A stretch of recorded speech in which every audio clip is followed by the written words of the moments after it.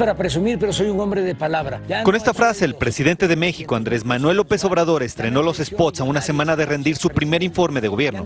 La prioridad para su segundo año será el plan de pacificación de un país sumergido en la violencia, apoyado en su idea de amnistía para delincuentes. Vamos a ver lo de la pacificación, la convocatoria para que eh, se puedan eh, llevar a cabo acciones de reinserción Una de las apuestas más polémicas del presidente López Obrador ha sido la de otorgar perdón o indulto a criminales encarcelados, así como a aquellos que quieren dejar las armas. El plan comenzó la semana pasada con reuniones entre grupos armados de autodefensas y el gobierno federal.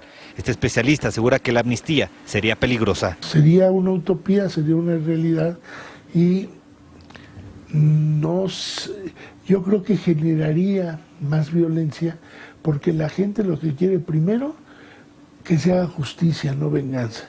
Ante la presión de bajar los niveles delictivos se realizaron las reuniones con estos grupos armados, pero debido a la fuerte polémica generada, se pidió cancelarlas. El señor presidente nos ha dado una instrucción muy clara, no eh, quiere que sigamos en esta línea. La polémica surgió cuando el propio subsecretario de Gobernación, Ricardo Peralta, visitó municipios de Tamaulipas y Michoacán, pese a que semanas anteriores esos pobladores retuvieron a militares después de quitarles armas largas prohibidas por el Estado, entre ellas un fusil calibre 50. Pese a ello, hubo esas reuniones con grupos acusados de estar vinculados con la delincuencia.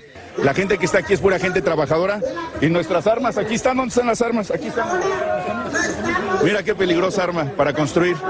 La ley de amnistía o presunto perdón a delincuentes ocurre en un país sumergido en la violencia con más de 20 mil ejecuciones en lo que va del año, una cifra histórica y que va en aumento.